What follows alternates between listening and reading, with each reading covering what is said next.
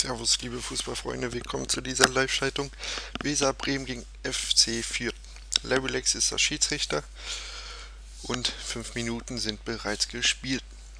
Bibi Benny mit dem Ballverlust im Mittelfeld, aber Makler konnte das Ganze ausgleichen, spielt ihn sofort schnell nach vorne und Boba hat den Ball aufgenommen.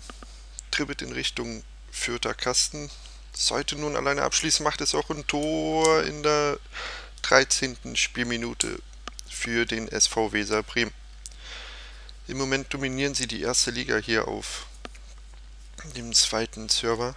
Und da ist ein Foul von Fürth, aber Larry Lex sieht es nicht. Er schiebt mit dem Ballverlust. Oh, das ist ein ruppiges Spiel.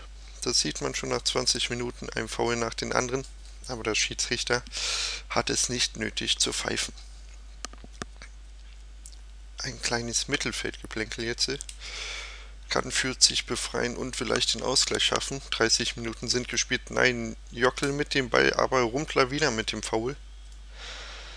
Oh je, das ist ein stetes Hin und Her hier im Mittelfeld.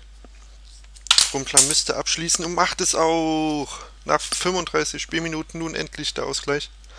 Was macht Bremen? Haben sie eine Antwort darauf? Und das nächste Foul. Also beide Mannschaften nehmen sich hier überhaupt nichts. Und der erste Freistoß von Larry Lex gepfiffen. Aber das hat überhaupt nichts gebracht. Und was macht Lex? Pfeift er zur Halbzeit? Ja, er tut es. Es hätte auch einen Angriff geben können von SV Weser Bremen. 1 zu 1 trennen sich beide Mannschaften zur Halbzeit. Die Trainer haben weitere Anweisungen gegeben und es geht auch direkt los. Cool Pommes mit dem Schlag in die Hälfte von FC Fürth und das Faulen geht eifrig weiter. Öler schiebt, sowie einige andere nun schwer am Pumpen. Boba mit der Flanke. Iji 5K mit dem Ball, aber wird böse umgerannt.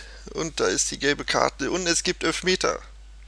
Die Stürmerin macht das Tor in der 60. Spielminute, verwandelt sie den Elfmeter zum 2 zu 1.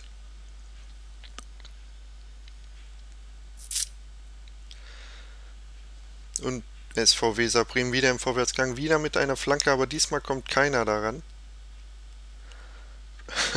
das Faulen, das ist unglaublich. Und wieder Freistoß. Ah, das gibt's doch gar nicht. Larry Lex müsste einfach mal ein paar rote Karten zücken, aber das liegt nicht in seiner Natur. Und da ist das 3 zu 1.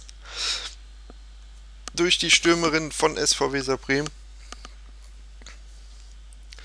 Zehn Minuten sind noch zu spielen. Passiert hier nochmal was? Kommt Fürth ran oder behauptet Weser Bremen seine Führung?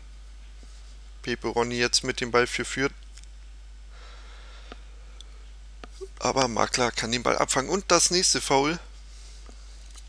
Fürth muss so grob spielen, damit sie überhaupt was nochmal versuchen können. Aber das wird nichts. Larry Lex pfeift das Spiel ab. Ja, dieses Spiel ist nun vorbei.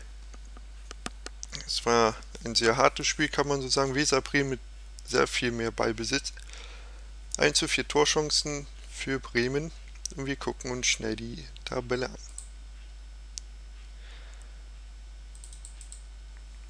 Bremen nun mit 5 Punkten Vorsprung. Eine Tordifferenz von 90. Dicht gefolgt von New Order mit 66 den STG-Tickers. Das weiß ich noch. Damals in meiner aktiven Zeit als Fußballer waren diese immer so zweite Liga, erste Liga, zweite Liga, erste Liga. Immer so in Wandel. Das war recht gut anzusehen. Den FC Fürth Betola TC auch noch mit akzeptablen, mit einer akzeptablen Tordifferenz. Denn auf Platz 6 Nachtsturm, Dark Forces, Outsiders, die Dynamo Monarch sind auf dem respektablen neunten Platz mit einer Tordifferenz von 4. Dann kommt Bivi Sturm auf Platz 10. Danach kommt Zapway mit minus 12. Danach Stars Eto mit 24 im Minus. Neostars dahinter. Den FC Aue war auf Diablo.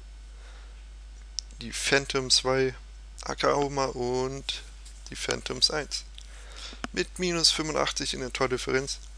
Ja, das ist die erste Liga von Server 2. Visa Prim dominiert im Moment noch das Feld. Vielleicht kann New Order da ja noch näher rankommen. Wir dürfen gespannt sein. Ich verabschiede mich und sage bis zum nächsten Mal. Tschüss.